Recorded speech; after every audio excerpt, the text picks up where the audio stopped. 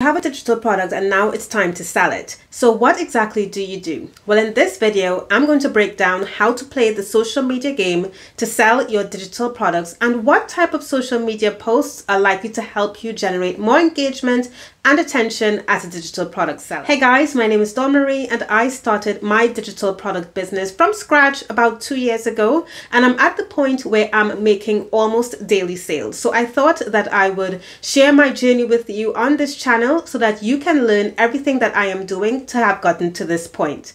So if you would like to follow along with that and stay in touch with me, then I hope you'd stick around and subscribe to the channel. Now I'm going to leave a link to my playlist, which is a case study playlist below in the description box so you can binge watch and see what I have gotten up to so far. And also check out in the description box for my free 10 day action plan, which takes you through everything that I have done step by step over 10 days so that you can be in a position to launch and sell your own digital product products as well.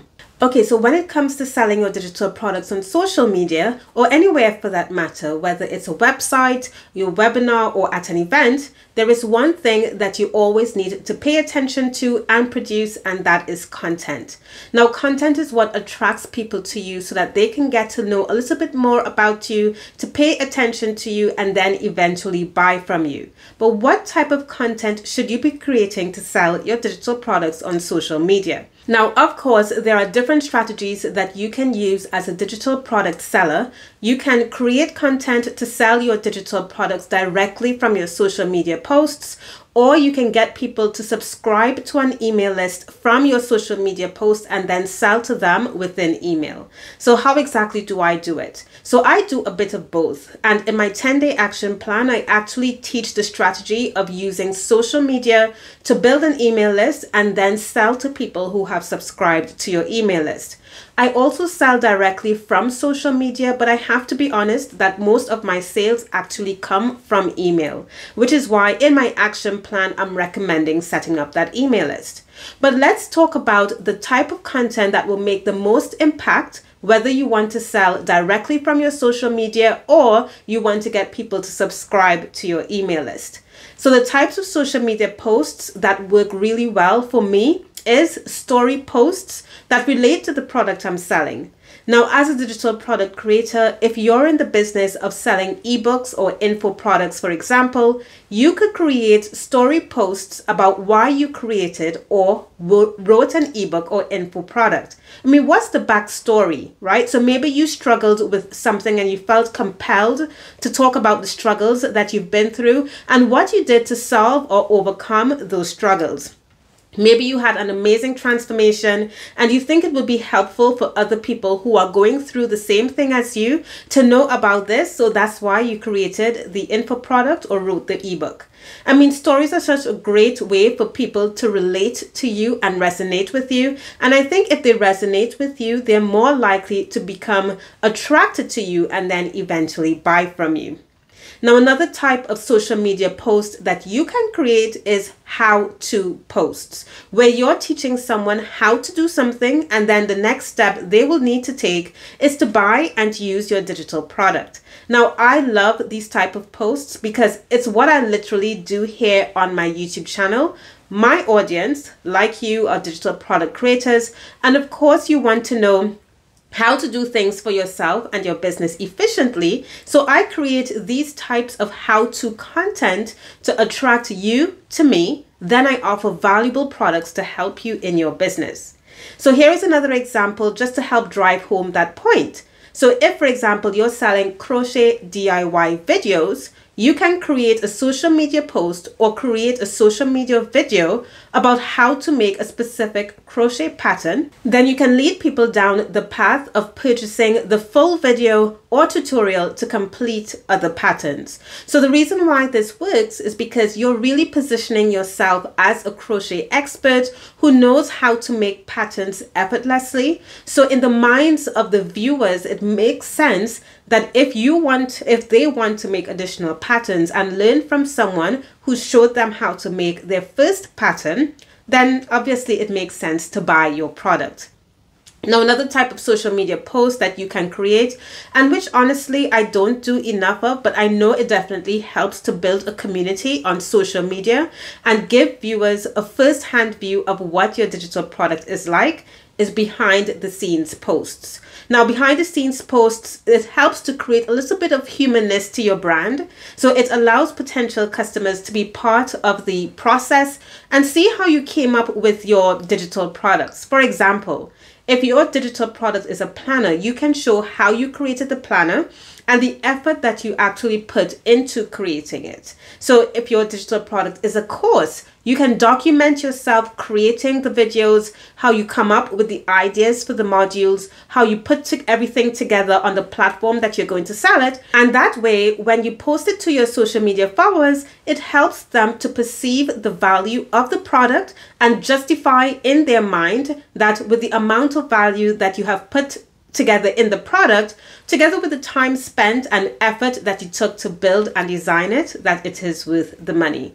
Now, I hope these ideas are helping you think about the creative ways that you can come up with your own posts for social media. But if you're still having a hard time wondering what type of social media post to write, or if you're not very good at writing the content to start your social media strategy, then I think my digital product launch social media toolkit would be a very good place for you to start because it gives you 90 done for you social media copy templates 90 stunning, beautiful Canva graphic templates, a 90 day social media launch planner, ChatGPT prompts to help you make content creation effortless, and also my AI Copy Pro ebook that teaches you how to use AI with ChatGPT to create unlimited content. So you can learn more about this toolkit with the link in the description box below. All right, so let's talk about the next type of content that I think does really well to sell your digital products, and that is testimonial or reviews from your past customers. Now, I mean, it's very evident that people rely on the experiences of others to decide whether they are going to purchase from a brand. So, if you share all the fantastic things that your past customers have said about your products, maybe they thought it was a detailed tutorial that you created, maybe the product was well designed you have permission to share these reviews with prospective customers to give them an idea that other customers actually buy from you and like your digital products. So now it's time for them to get off the fence and purchase as well.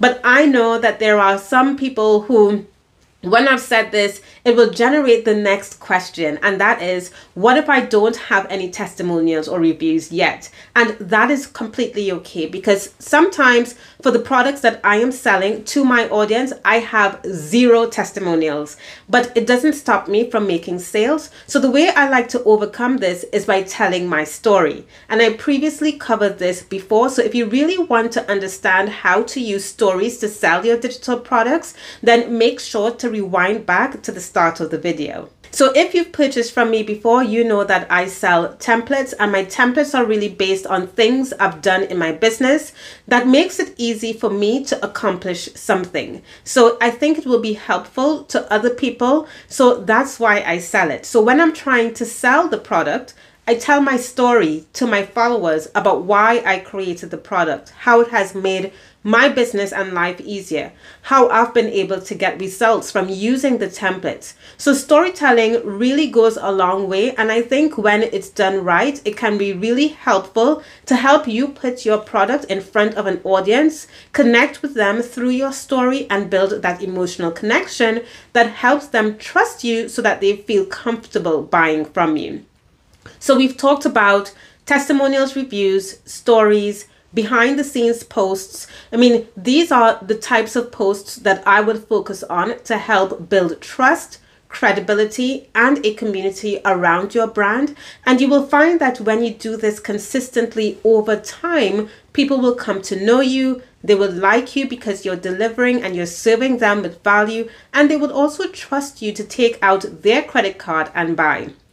I mean, this is what I have been doing for the past two years consistently, and it is going well so far. So I think if you follow this method, that you could build that for yourself.